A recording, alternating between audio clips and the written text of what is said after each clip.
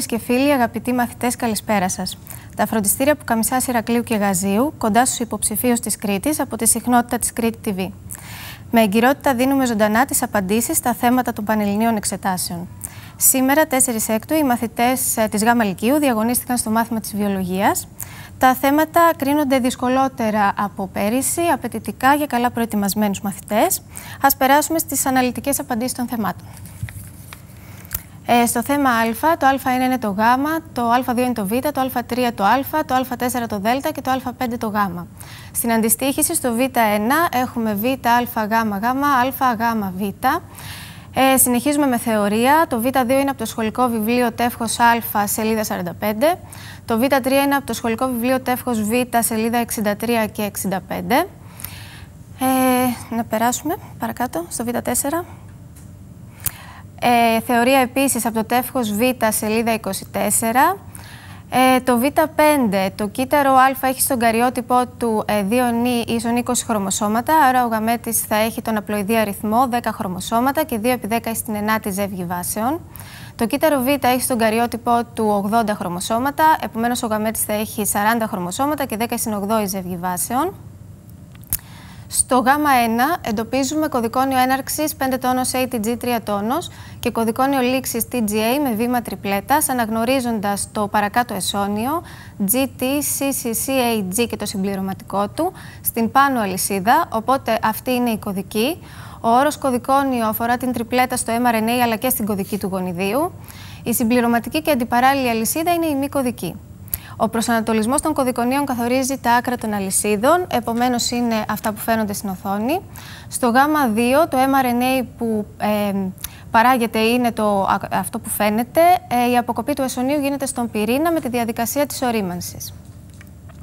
Στο Γ3, όπως σημειώνεται με κόκκινο, έχει γίνει αντικατάσταση βάσης στο 13ο νουκλεοτίδιο από το 5 τόνος άκρο της κωδικής αλυσίδας από GCA.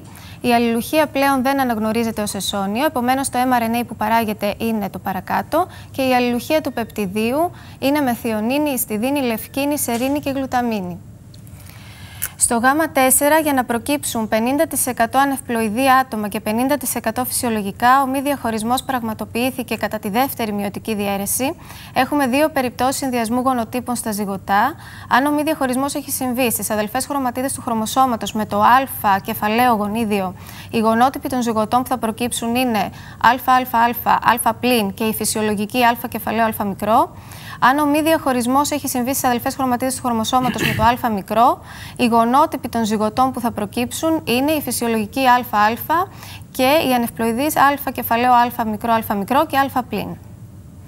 Στο θέμα Δέλτα, ε, στο Δέλτα 1 παρατηρούμε ότι τα θηλυκά είναι διπλάσια από τα αρσενικά στους απογόνους, οπότε υπάρχει φιλοσύνδετο υπολοιπόμενο θνησιγόνο αλληλόμορφο. Συμβολίζουμε με χ μη κεφαλαίο το μαύρο χρώμα, με χ λάμδα κεφαλαίο το λευκό και χ θήτα το θνησιγόνο. Η διασταύρωση που πρέπει να γίνει είναι χ μη κεφαλαίο ψ με θηλυκό χ λάμδα κεφαλαίο χ ε, θήτα. Ε, το χρώμα του σώματος επομένως οφείλεται σε φιλοσύνδετο γονίδιο με πολλαπλά αλληλόμορφα.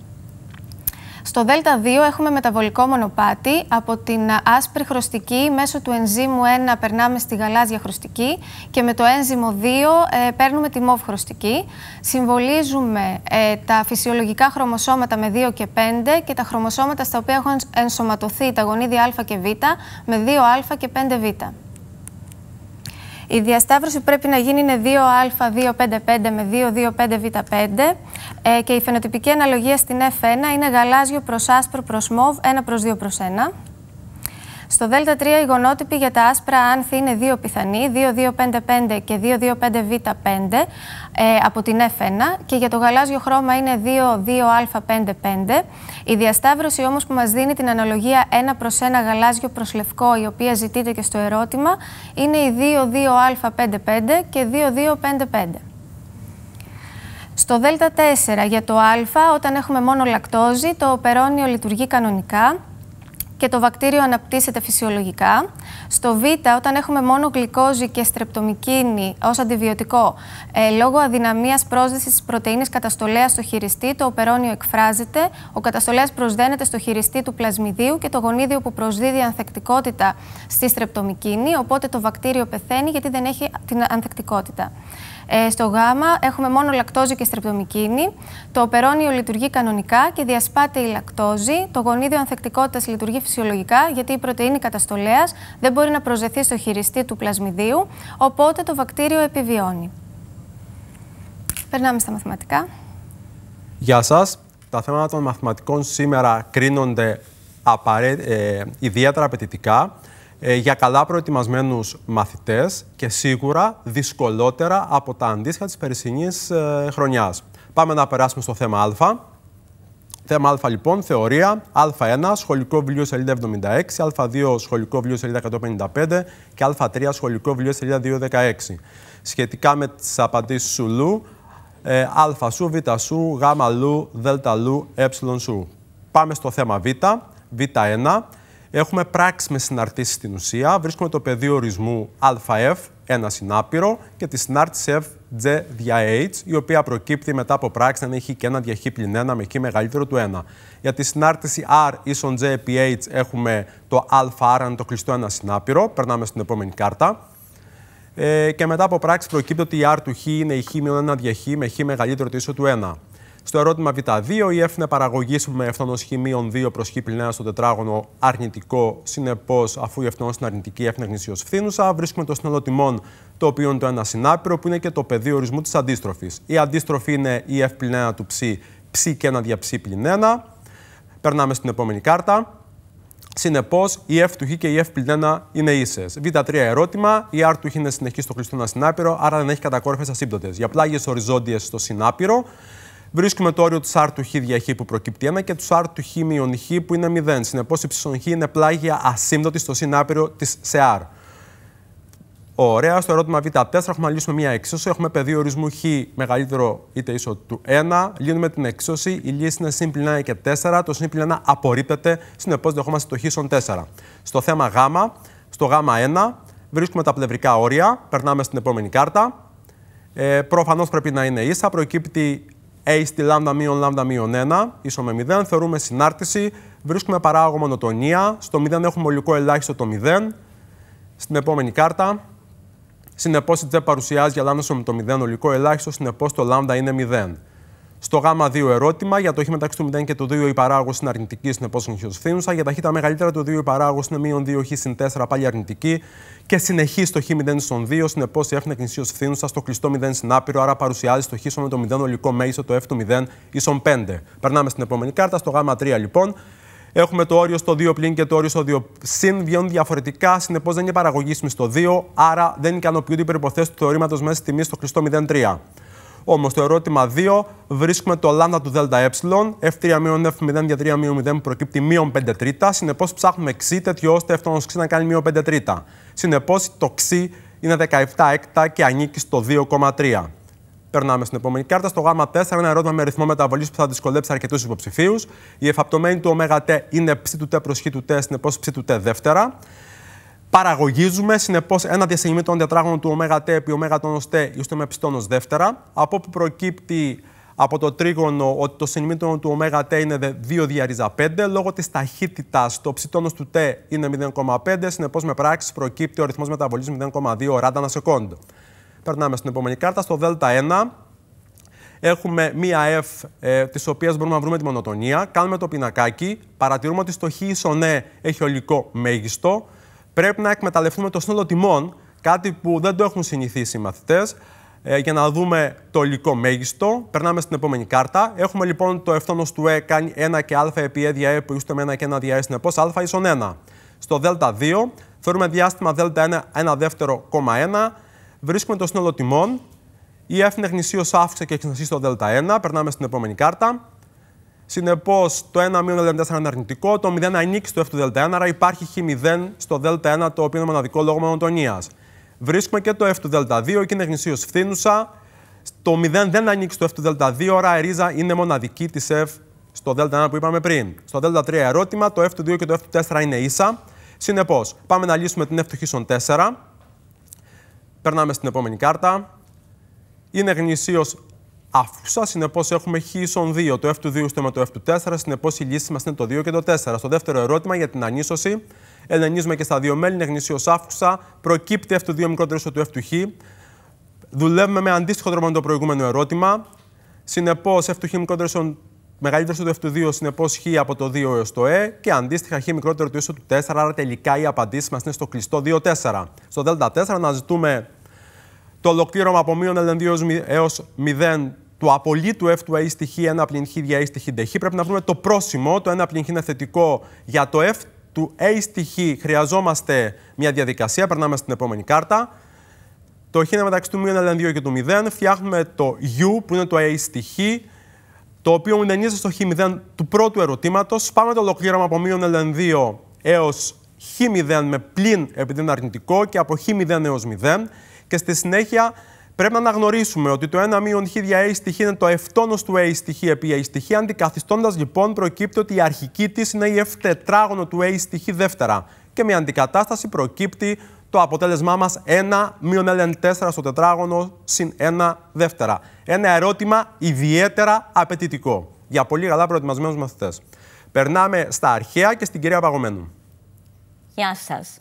Στο διδαγμένο κείμενο τα θέματα είχαν σαφή διατύπωση, απαιτούσαν πολύ καλή γνώση των ερμηνευτικών σχολείων του βιβλίου και συνδυαστική σκέψη για το παράλληλο κείμενο.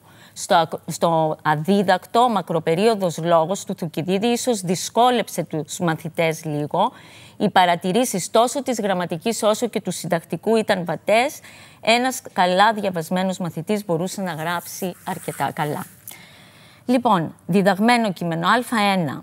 Ένα λάθος ή να μην καταπόλυσε έως διορισμένη δικαίης. Δύο σωστό, ως περαγέληση νόμου κοινό συντρεφωμένης. Τρία λάθος, Ουγάρος Αριστοτέλης έως υπούλων την ηγεμονία. Τέσσερα σωστό, ου στο λόγο μη συνήγε της όπλης ε, βιαζομένο. Ε, πέντε λάθος, προσέταξε νέους αλλοφίλου, δε τους πονηρούς. Β1. Ο Αλέξανδρος έβλεπε τον εαυτό του ως φορέα της ενότητας όλου του κόσμου. Η φράση διαλλακτή των όλων σημαίνει ότι ήταν ικανός να συμφιλιώσει όλους τους ανθρώπους. Ανοιχτός λοιπόν στο διαφορετικό, πίστευε ότι θα μπορούσε να συγκεράσει τις ιδιαιτερότητες κάθε λαού και να είναι ο ίδιος κοινός κυβερνήτης των πάντων. Αξίζει μάλιστα να σταθούμε στη φράση Θεόθεν αρμοστής, που σημαίνει από τον Θεόν, Θεόσταλτος, ηγέτης. Ο Αλέξανδρος διαφοροποιήθηκε από τον δάσκαλό του και από την καθιερωμένη αντίληψη της εποχής και αποφάσισε να αντιμετωπίσει ισότιμα όλους τους πολίτες της αυτοκρατορίας του, ανεξαρτήτως γλώσσας, θρησκείας ή φυλής, εκφράζοντας νέες ηθικοπολιτικές αντιλήψεις, την υπέρβαση, δηλαδή τον διαχωρισμό μεταξύ Ελλήνων και Βαρβάρων, ως περενκρατήρι έως αλλοφίλους δε τους πονηρούς, στην περίοδο του κειμένου «Πατρίδα μεν την οικουμένη προσέταξε ηγείστε πάντας» αναφέρουμε το σχόλιο σχολικού βιβλίου σελίδα 195 «Πατρίς και οικουμένη» δηλώνεται η κατάργηση της έννοιας πατρίδα με την παραδοσιακή σημασία της πόλης κράτους, καθώς όλοι όφυλαν να θεωρούν ως πατρίδα ολόκληρη τη γη, με κοινά σύνορα και κοινή ασφάλεια. Τέλος, ο Αλέξανδρος επέλεξε να καλλιεργήσει ένα πνεύμα ενότητας και ισότητας δίνοντας αξιώματα όχι μόνο στους Μακεδόνες αλλά και στους Πέρσες, διατηρώντας έτσι ένα οικουμενικό χαρακτήρα στην αυτοκρατορία του, μειώνοντας τις εσωτερικές αναταραχές και καλλιεργώντας κλίμα σταθερότητας και ασφάλειας. Εύστοχα λοιπόν ο Πλούταρχος συνδέει την αυτοκρατορία του Μεγάλου Αλεξάνδρου με το στοικισμό, χωρίς να λαμβάνει υπόψη του τις χρονικές παραμέτρους.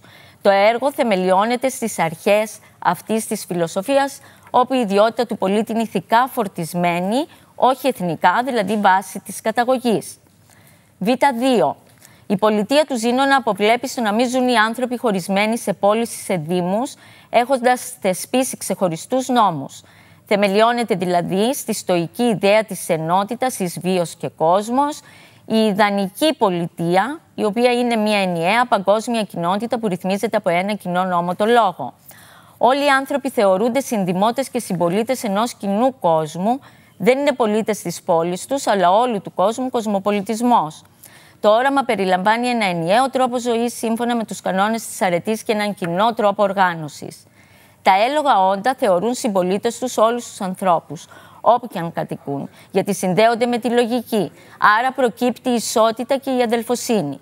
Στο σημείο όσπερα γέλης έως συντρεφωμένοι οι άνθρωποι παρομοιάζονται με αγέλη που ζουν κάτω από ένα κοινό νόμο. Τονίζεται η έλλειψη διακριτών κοινοτήτων και διαφορετικών νόμων, καθώς και ο χαρακτήρας της κοσμικής πόλης όπου όλοι διοικούνται από το κοινό νόμο το λόγο. Αντίστοιχες απόψεις στο παράλληλο κείμενο παρατηρούμε στα σημεία είμαι μέρος έως φυσικούς νόμους και με συνδέει μέχρι ομοειδή μέρη όπου ο Μάρκος Αβρίλιος θεωρεί τον πολίτη μέρος του συνόλου, ο οποίος λειτουργεί προς το συμφέρον του και υπακούει στους κοινούς φυσικούς νόμους. Στο κείμενο αναφοράς ως περώνα ρέω φιλοσόφου, η παρομοίωση γίνεται με ένα όνειρο ή μία εικόνα για την ευνομούμενη πολιτεία. Σχολικό βιβλίο, σελίδα 194, σχόλιο Πολιτεία και Ευδαιμονία και συνδέεται με την περίοδο παράλληλου κειμένου «Δεν θα πράξω τίποτα έως κοινωνικό συμφέρον». Β3 α ένταση, Β προαιρετική, Γ κράση, Δ πληθυσμού, Ε χρήσης. Β4 1 Γ, 2α, 3Γ, 4α, 5α. Γ1 μετάφραση αγνώστου. Οι Αθηναίοι αρχηγοί στη Σάμο και κυρίως ο Θρασίβουλος, ο οποίος είχε πάντα την ίδια γνώμη, από τότε που τακτοποίησε την πολιτική κατάσταση με σκοπό να επαναφέρει από την εξορία τον Αλκιβιάδη και τέλος, με εκκλησία του Δήμου, έπεισε το πλήθος των στρατιωτών. Και όταν αυτοί αποφάσισαν για τον Αλκιβιάδη την επαναφορά και την αμνηστία του, αφού έπλευσε προς τον Τισαφέρνη, επανέφερε στη Σάμο τον Αλκιβιάδη, επειδή θεωρούσε μόνη σωτηρία αν μεταστρέψει τον Τισαφέρνη από τους Πελοποννησίους προς όφελός του. Γάμα 2 ο Θρασίβουλος επιτυγχάνει την επιστροφή του Αλκιβιάδη από την εξορία προκειμένου να επηρεάσει τον Τισαφέρνη προς όφελος των Αθηναίων. Στη συνέλευση, ο Αλκιβιάδης, αναφερόμενος στα μελλοντικά γεγονότα, καλλιεργεί τους Αθηναίους στην ελπίδα, υπερτονίζοντας την επιρροή που εκείνος ασκούσε στον Πέρση και περί των πολιτικών έως το Τισαφέρνη. Έτσι επιδιώκει να δημιουργήσει το αίσθημα του φόβου στους Αθηναίους ολιγαρχικούς ή να είτε οίκη έως αυτόν να διαλύσει τις ολιγαρχικές οργανώσεις και μάλλον έως διαλυθείεν, να κερδίσει τη στήριξη των στρατιωτών τους, της ΣΑΜΟ με σκοπό και να τους ενθαρρύνει και η εν της ΣΑΜΟ έως επιπλέον θαρσίεν.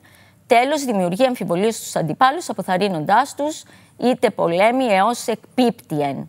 Γάμα 3α, πλήθος πλήθεση, ιδίαν ιδιαιτέραν διωτέραν, πολλά πλήστα, εαυτού ημάς αυτάς, υπαρχουσών υπαρχόντων ελπίδων ελπίδη. Γάμα 3β.